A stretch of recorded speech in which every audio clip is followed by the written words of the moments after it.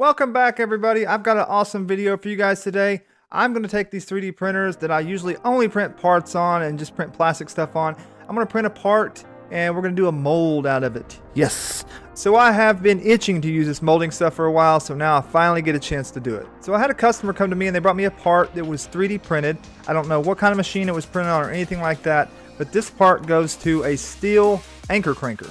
It's a machine to crank anchors in the ground for linemen and things like that. So this is the part right here. You can see they had this printed in two different materials on a 3D printer and it broke. I think one of them was PETG, one of them was nylon. So I thought the best case scenario would be to print this part out and we're to take some silicone here and we're to make a little mold box. We're to pour silicone in it. We're to pull the part out and that's to leave us with the mold. Then we're to take and we're to pour some resin in there. And I'm going to mix some color in with it so when we mix it up, you can see that it's mixed together really well. So I'm super, super excited to do this. I've had this silicone and this stuff sitting here for a while. I've just been waiting for a good reason to use it. This just came upon me and I was like, great, so now I can use it. So here we go. I'm going to show you guys how I did it. I hope I didn't mess anything up. Hopefully it turns out well and you guys can learn something too. Here we go. Now, what I did was open up Fusion 360 and I am a complete noob when it comes to this stuff. I do not know how to model things, but I know well enough to be able to make this simple little piece right here. So I made this and made it extrude and put a little notch in it there, but I didn't even end up using those notches. Then I just have to export it as STL. I can open it up in my slicer, print the file, uh, I'll print four of them, and then that gives me a box. So I open mine up in Super Slicer, slice the file quickly, and print it. And that gives me a makeshift mold box, but this can be done multiple other ways. It's just a box. Let's not forget safety first. I've got my box clipped together here now with these four clips. What I want to do is take this part that's sitting here and I'm going to put this in the center and we're going to tape it on and fill it up with silicone. I started trying using some clear tape, but it did not look like it was going to work. So I ended up going with this blue painter's tape stuff here, sticking to the bottom.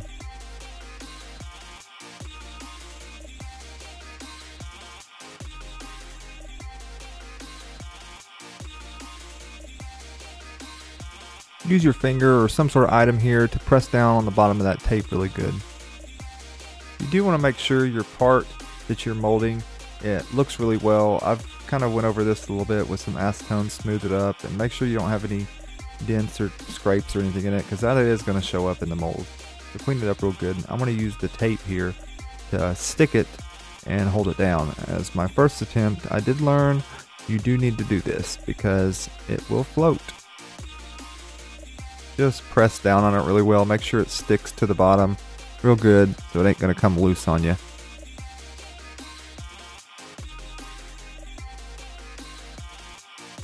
let's get our silicone ready to mix up here.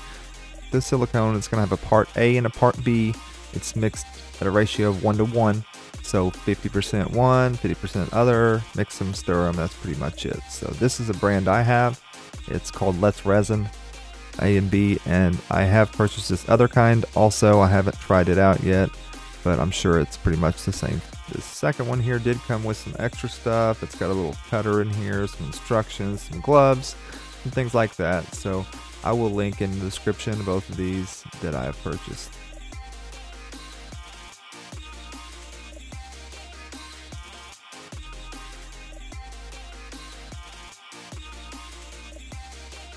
If you have yourself a nice little scale like this, if not, they're very cheap, that can measure in grams, what I did here is just measured out 10 grams of the A and 10 grams of the B and we're going to mix them together.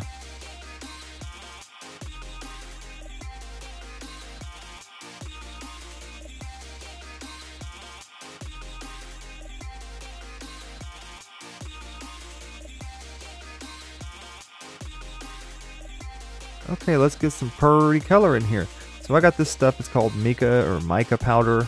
It's type of powder that you can put in with your silicone to add color to it. Now this part is not required, but for me, since both parts A and B are the same color, you can't really tell once you have them mixed up really well. So adding color to it like this, whatever color it may be, is going to let you know when it's mixed together well. Once you start stirring it and mixing it, it'll help you know when it's mixed.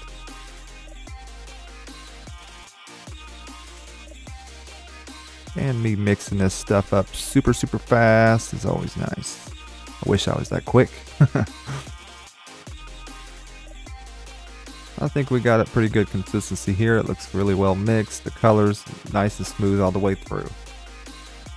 Now this probably goes without saying, but try to put something underneath your area that you pour this because the silicone does love to get everywhere through little crevices and things. So just try to protect yourself there a little bit. Put something underneath there. Now it's time to pour it in here. And also I was told after I've already done this that what you probably should do is start in a corner, the lowest corner, and pour it there. And you can see here I kind of went around when I did it. And also since mine has a hole in the center, you do want to fill that area up as well.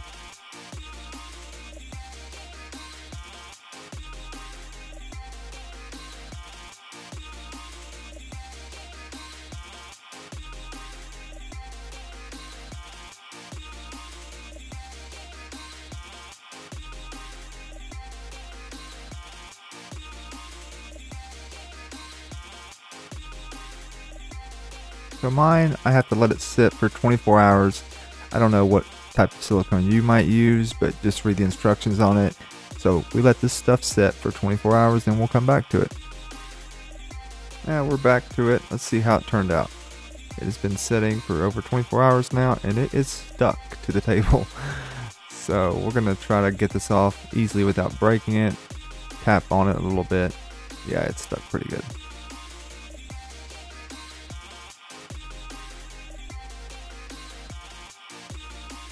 Alright, it wasn't super glued to the table. So let's get this stuff cleaned up and pull the tape off and we'll see if I got ourselves a nice mold out of it.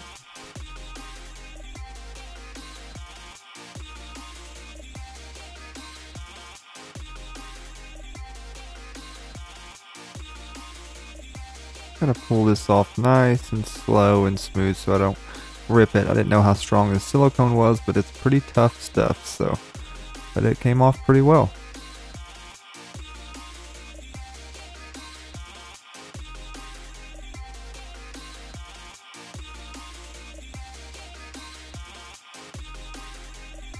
Let's go through here and cut all this stuff off with X-Acto. I don't know what they call this. I would call it flashing in the metal type business, but not sure with silicone. Now I gotta take this part out of this mold, so just push on it, wiggle, twist, turn, whatever you gotta do to get it out of there. This part in particular wasn't too hard to get out, but it wasn't overly easy either.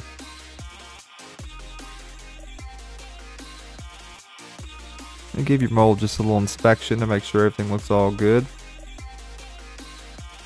Time for the fun part, the epoxy resin.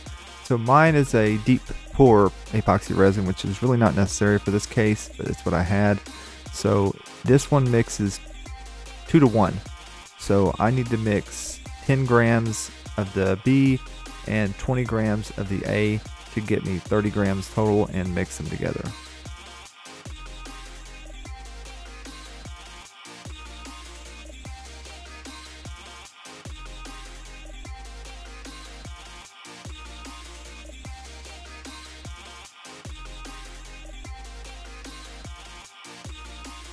So these are ready to be mixed up now, so I'm going to add a little bit of that mica mica powder stuff, the powder, to color it. So I got a little bit of silver I'm just going to add in with this. Now you want to stir this stuff up until you're happy, or in this case, until the powder gets all mixed and blended in there really well, which that's the reason, kind of reason I added it to this. It didn't have to be colored, but it does help a lot when seeing if it's mixed.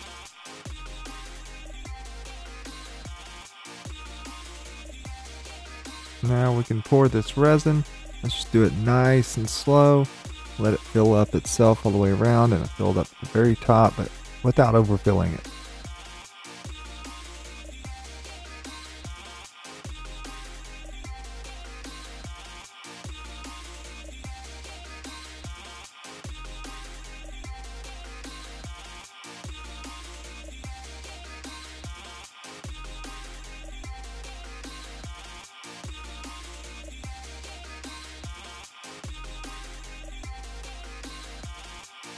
So here's our mold after it's done casted. Let's see how this thing turns out. We're to see if we can take it out of here. Hopefully everything comes out and everything worked out good. So this looks like it turned out pretty good. So we're to see if we can get it out of here without tearing up the mold or doing anything bad like that. Feels pretty solid. Hopefully it works out alright. Just kind of push around the edges here to break it loose uh, all the way around the outside. Then we'll try to go around the inside as well and see if we can get it unstuck from the resin there a little bit.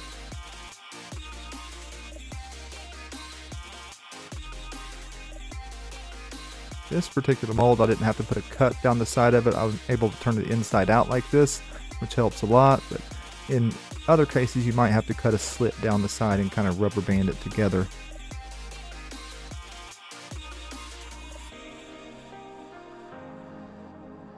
Right, looks like it come right out of there.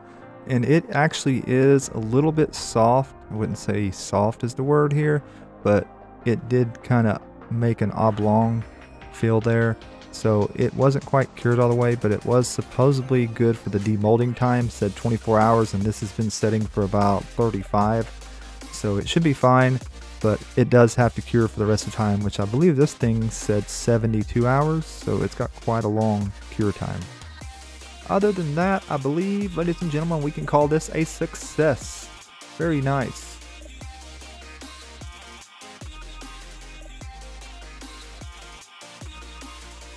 I really hope you guys enjoyed the video as much as I enjoyed making it. Like and subscribe for me, and I'll see y'all next time.